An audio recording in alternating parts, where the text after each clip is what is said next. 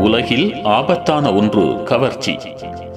நித்யானந்தா சுவாமியாரை எல்லோருக்கும் நன்கு தெரியும் அவர் சில நூல்களை எழுதியுள்ளார்.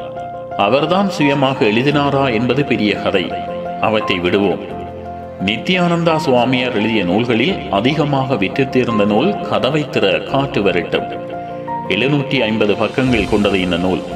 இந்த நூலின் தலையங்கத்தை பார்த்துவிட்டே பலரும் விழுந்தடித்து வாங்கிச் சென்றார்கள். நூல்களை புரட்டி பார்ப்பதற்கு கூட ஆர்வமில்லாதவர்களே வாங்கிச் சென்றார்கள். வீட்டுக்கு கொண்டு போய் இரகசியமாக பக்கங்களை புரட்டி பார்த்தால் ரஞ்சிதாவையும் காணவில்லை சன்னியாசிகளையும் காணவில்லை. எல்லாமே யோசிக்க கூடியவாறு அறிவுபூர்வமாக எழுதப்பட்டிருந்தன. எங்கள் இளைஞர்கள் பலருக்கு பெரும் ஏமாற்றம். நல்லதை யார்தான் விரும்புகிறார்கள்? நான் சொல்ல வருவது என்னவென்றால் கவர்ச்சிகளிலிருந்து விடுபட்டு விட வேண்டும்.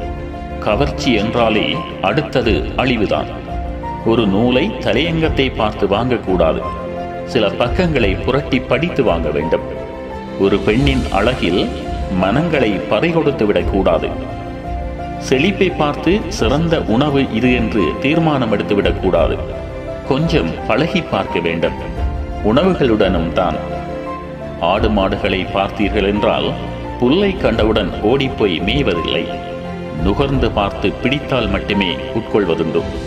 நாய்க்கு உணவை கொடுத்தீர்கள் என்றால் ஓடி வந்து வாய் வைக்கும் போதே வாசனை பிடிக்காது போனால் உண்ணாது வாலை ஆட்டிக்கொண்டு போய்விடும். உணவில் உள்ள மூலப்பொருள்கள் மட்டும் நோய்களை தருவதில்லை. வாசனையும் நோய்களை தரும்.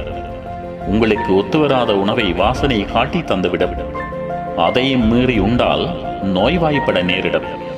ஒரு கனியை கையில் எடுத்து வைத்து அழகாக ரசிப்பதற்கு முதல் நுகர்ந்து பாருங்கள். வாசனை பிடித்தால் மட்டுமே வாங்கிச் செல்லுங்கள். இல்லையே வைத்துவிட்டு போங்கள். கவர்ச்சி என்பது மிகப்பெரிய பள்ளம். அதில் விழுந்தால் யானைகள் கூட மீண்டு வருவது சிரமம்தான்.